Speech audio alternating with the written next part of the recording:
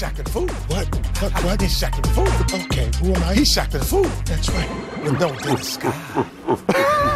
Number one, Carmelo Anthony. Check out this sweet random pass by Melo. Oh. Good look. Good look, man. Good look. That's a good look. A- Always love the coach reaction. He's trying. He's Nice trying. lob, Melo. Uh, he didn't see nobody. That's, who did he see, though? Number two, Corey Brewer, sniper in the building. Early uh. flop of the year candidates. Oh, come on.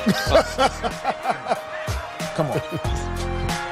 You, I know you only had like 125 pounds, but can't- he's not. Oh, and the grimace. Number three, Enes Kanter. Should I shoot?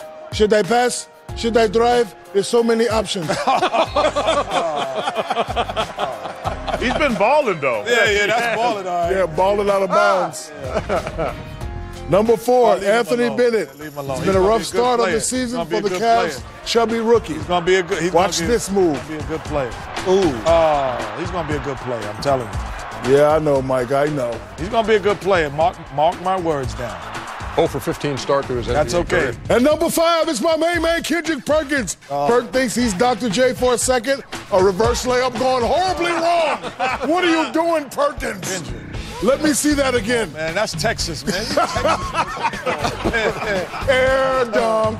Come on. Air dunk. hey, Coach, Coach JaVale McGee, congratulations. Vote for your man. favorite at NBA.